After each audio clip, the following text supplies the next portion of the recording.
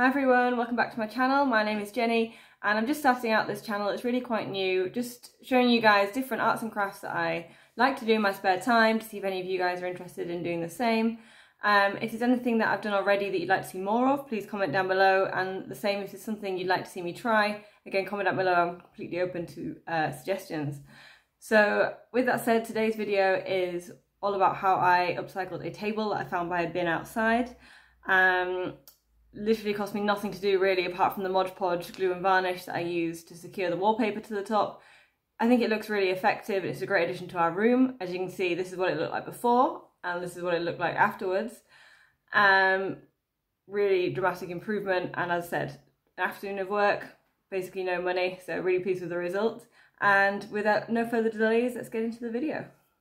Okay, so I've given it a sand down so it's much smoother now, sanded the legs and everything as well. I've just been making a template for the wallpaper that's going to go on top.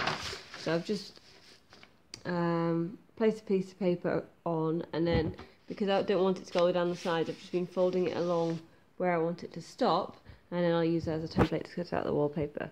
In the meantime, I'm going to start varnishing the legs with some clear varnish. So very glamorously, I've got my hand in a plastic bag in a sock and I'm just pushing the wood stain into the wood. You can see already it's giving a much richer colour, so I'll just continue with this. So I did a lot of the wood staining yesterday evening, so it's looking pretty good. It's a nice colour now, kind of matches more with the rest of the furniture in my house. Uh, I probably would like it still a little bit darker, so I might just do another layer today as well. Uh, this morning I've just been working on the tabletop piece. So this is the wallpaper I've chosen. I've tried to get the pattern centered on the top and I've just been cutting around the edges to try and make sure it's as, well, it's obviously not straight at the minute, but um, to make sure it's going to fit as nicely as possible. So I'll probably do another layer of wood staining and then I'll get to work with sealing this to the top of the table. I finished cutting this top piece of wallpaper to the size that I want. So now I've got my Mod Podge uh, I've chosen this one, it's just about a quid more expensive than the usual ones because it's meant to be kind of wa more waterproof and I'm using it as a tabletop, so hopefully this will do the trick. I've got a slightly coarser brush here, which I'll be using to apply it on, then I've got a softer brush for when I'm doing the top here. So I've been reading the instructions and apparently I need to put a layer on the surface and on the underside of my wallpaper. Um, it's probably going to be quite difficult to, to film, but I'm basically going to be doing it in stages, so I'll start at one end and work my way across and try and make sure there's no air bubbles in there. We'll see how I get on. This stuff dries really quick. I've started doing the top there, but it's literally drying before I can even roll it down in time. So I'm probably going to have to put like another coat on here. But basically you can see what I'm doing. I'm kind of pressing it down nice and smooth at this side and just working my way down.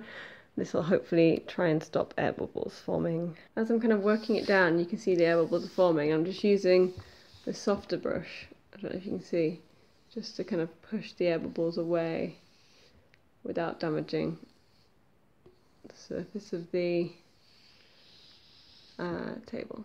So I'll just keep working away at this. And now you've got it smooth. I'm just putting another layer on top with a smoother brush. I'm just trying to make it nice and even uh, finish on the top of here. So it's looking really good so far, so I'm really excited for the final result. Hi everyone, so I've got the final result here. Uh, I'm basically in the window because it's so dark and dingy outside.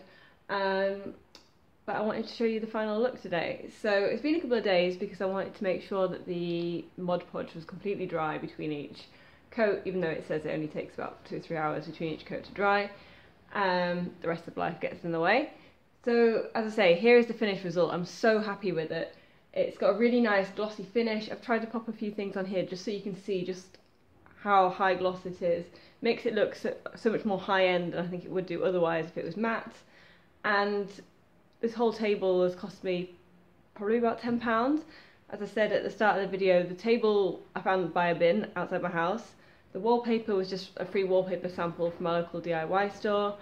And otherwise I've had to pay for the Mod Podge, which I think was about £8, and just the brushes that I've got as well for the project, so two, three pounds. Um, so I would say that's a pretty good deal, really. As I said, I'm so happy with it. I've not tried anything like this before, but it's something I'm going to definitely look into doing again. Um, if there's any other projects or similar that you'd like me to try, um, or challenges of things you'd like me to recreate on a budget, then definitely post down below. Otherwise, of course, if you enjoyed this video, please like it, and if you'd like to see more of these kind of DIY adventures, then please subscribe and there'll be a lot more to come. Uh, great to have you on the journey, and I'll see you next video.